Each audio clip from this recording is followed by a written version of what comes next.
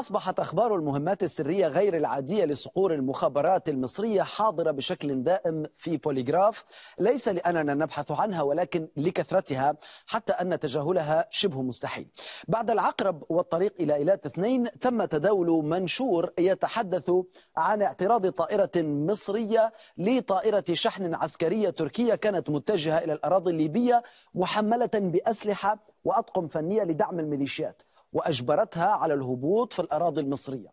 هكذا قالت صفحة جبهة الرئيس السيسي كما نقلت الخبر العديد من الصفحات الموثوق فيها مثل حكاية وطن وأبناء القوات المسلحة اثنين وأخبار القوات العربية المسلحة.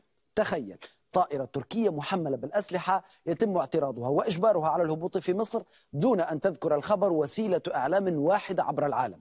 الشيء المؤكد أن البعض سيعتقدون أن الطيار التركي سيحتجز في نفس المعتقل الذي يرقد فيه قائد الأسطول الأمريكي السادس منذ ست سنوات.